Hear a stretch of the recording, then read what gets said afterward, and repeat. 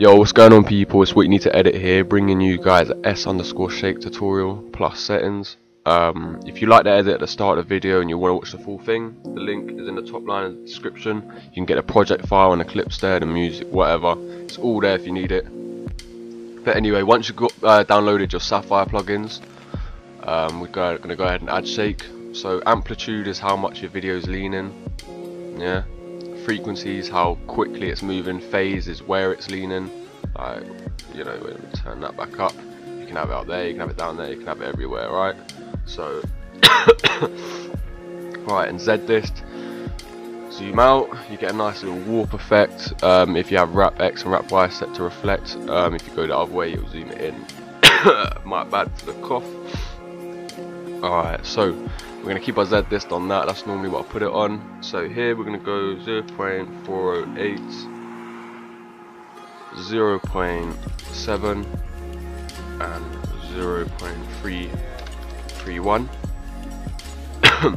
right, so they're my settings my overall shake. I really like them. You guys can mess around with them how you like. If it's not tilting enough, turn the amplitude up. If you want to turn it down, if it's not going the right place, change the phase. It's all there. Just mess around with the settings.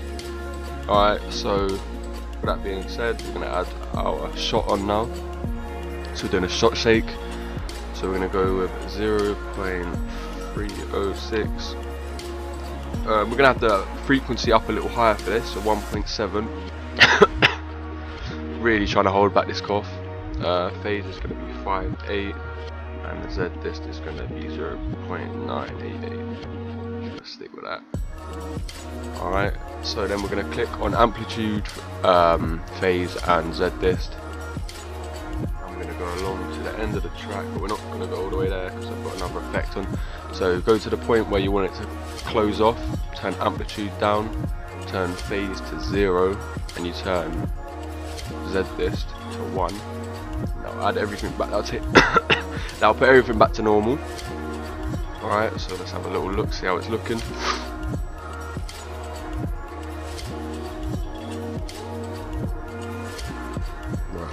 I quite like that.